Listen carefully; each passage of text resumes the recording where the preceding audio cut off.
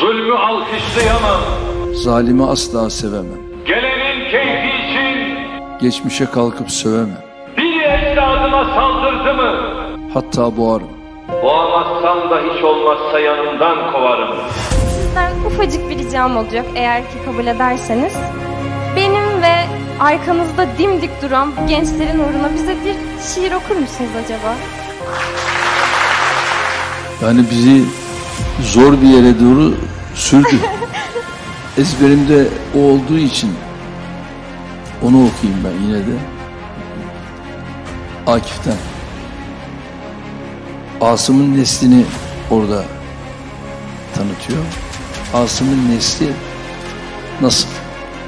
Kim? Zulmü alkışlayamam. Zalimi asla sevemem.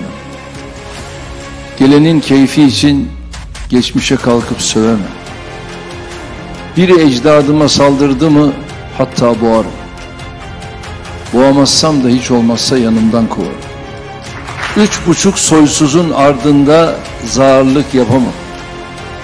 Hele hak namına haksızlığa ölsem tapamam. Doğduğumdan beridir aşıkım istiklale. Bana hiç tasmalık etmiş değil altın. Yumuşak başlıysam kim dedi uysal koyunum? Kesilir belki fakat çekmeye gelmez boynum. Kanayan bir yara gördüm mü yanar ta ciğerim. Onu dindirmek için kamçı yerim, çifte yerim. Adam aldırma da geç git diyemem. Aldırırım, çiğnerim, çiğnenirim. Hakkı tutar kaldırırım. Zalimin hasmıyım ama severim mazlum.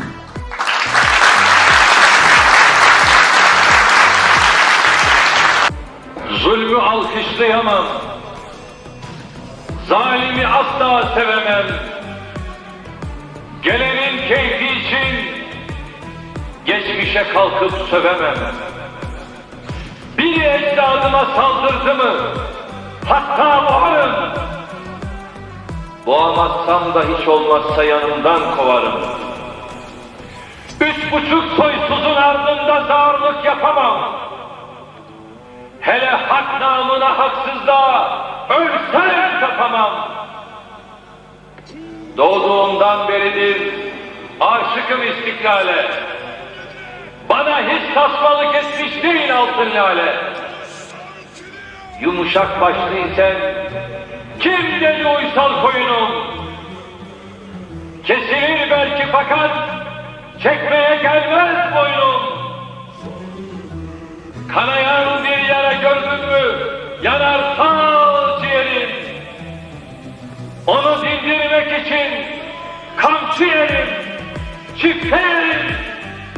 Adam aldırma da geç git diyemem. Aldırırım,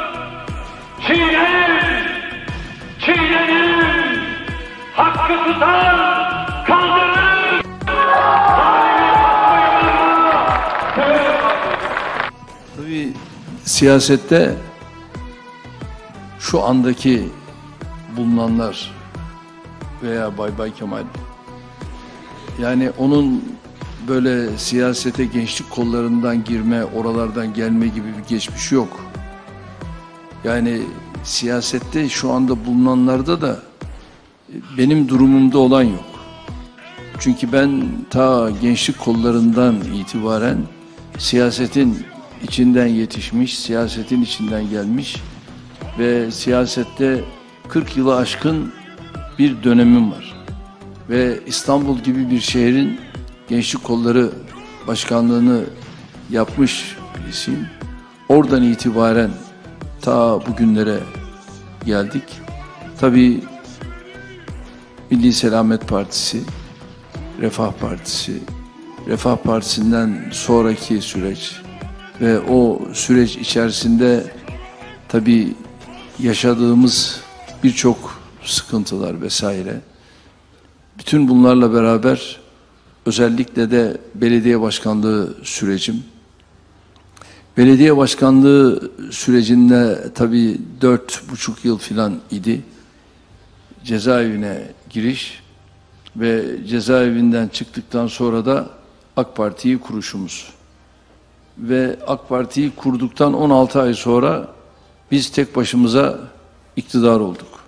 Bunu yakaladık çok kısa bir zamanda ve yüzde 34 gibi bir oyla da parlamentoda birinci parti olduk.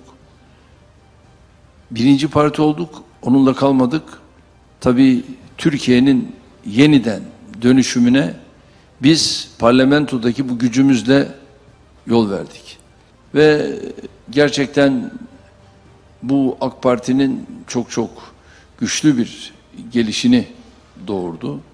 Ve bu güçlü geliş nereye dayanıyordu? İşte ta Milli Selamet Partisi'ndeki o gençlik dinamizmine, oradan aldığımız siyasi tecrübeye, bu şekilde tabii buralara geliş oldu. AK Parti ise çok farklı bir performans ortaya koydu. AK Parti ile beraber de Türkiye'de yeni bir değişim, dönüşüm yakalandı ve bunu da başarıyla temsil ettiğimize inanıyorum. 21-22 yıl bu kadar kısa zamanda buralara tırmanmış olmak çok çok önemli. Ve bu dönem içerisinde de tabii gerek başbakanlık, gerek cumhurbaşkanlığı ve gerekse şu anda geldiğimiz nokta tabii bize maalesef ihanet edenler de oldu. Bizden bırakıp ayrılıp maalesef gidenler de oldu. Ama bizimle yol arkadaşlığını sürdürenler de oldu. Onlarla beraber yolculuğumuza devam ediyoruz. Şimdi bütün mesele 28'inin akşamını 29'a farklı bağlamak. İşte buna bağlı hazır mıyız? Özellikle İstanbul'dan ben şunu beklerim.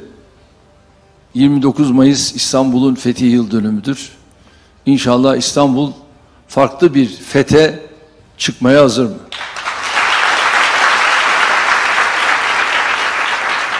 Ben şu anda gençlerimizin gözlerinde evet biz hazırız diyorsunuz. Bunu okuyorum.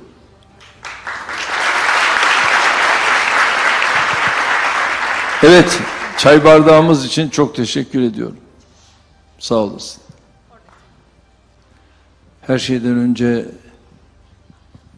bunlardan bir tanesi malum tutuklandı. Sonra serbest bırakıldı. Fakat daha sonra itiraz üzerine tekrar tutuklandı. Şundan bir defa emin olacaksınız. Onlar isteseler de istemeseler de. Erdoğan iş başında olduğu süre içerisinde biz afadımızla, her şeyimizle bu depremzede kardeşlerimize bütün desteğimizi vermeye devam edeceğiz.